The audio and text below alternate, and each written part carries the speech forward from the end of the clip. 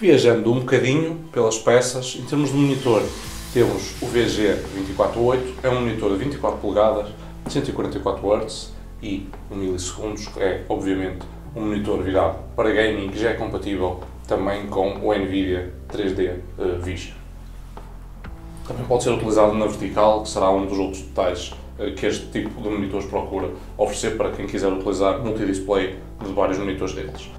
Temos depois o dissipador da Republic of Gamers de 120mm, já tem o uh, display, pode ser customizado, estamos a falar uh, do uh, raio de 120mm, já é também compatível com o Aura Sync da ASUS. Vamos, obviamente, fazer tudo o que é personalização em termos do display, pequenos extras na ventoinha, adequar ao projeto.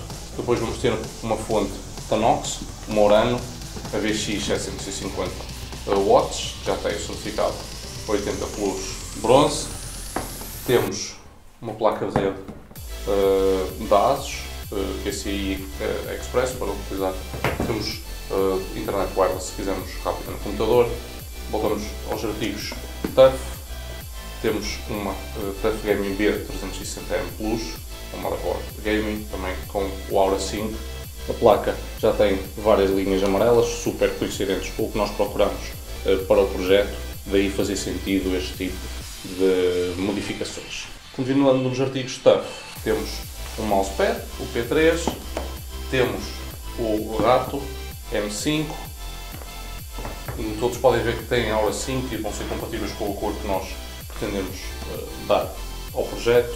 Em termos de teclado, temos o TUF Game K5, em termos de memória, vamos também instalar uma memória da DR4 uh, da Kingston, um DIMM de 16 GB. Por parte da Kingston também temos uma, um SSD, um A400 de 480 GB. Provavelmente vamos fazer uma cover uh, com impressão 3D para ele.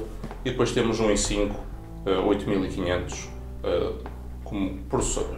Para a placa gráfica temos uma GTX 1660 de 6 GB eh, como a placa é também uma das últimas versões que eles lançaram uh, e aqui sim vamos fazer alguma personalização uh, em termos de cor, um dado mais funcional. Caixa, como já falei, temos aqui a grande GT 501, que será um dos elementos que se justifica mostrar-vos agora em mais detalhe aqui no projeto e talvez mostrar-vos a placa gráfica no instantinho.